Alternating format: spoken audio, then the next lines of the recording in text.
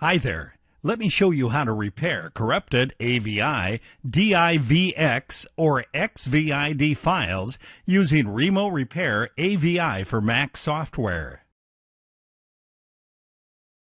Launch the software.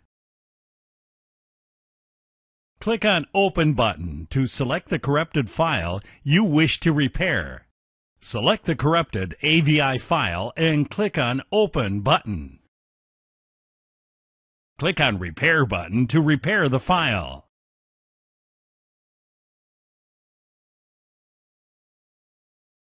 Once the repair process is complete, click on Preview Repaired File button to preview the repaired file.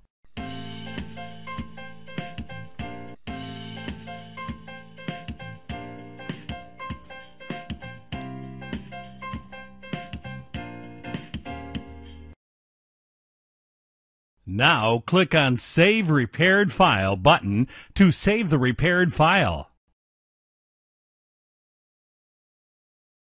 Select a location for saving the repaired file and click on Save button.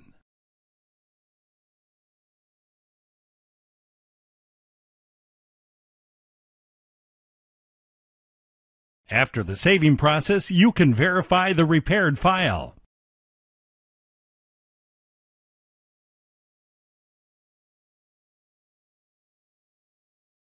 This is a repaired file saved by the software.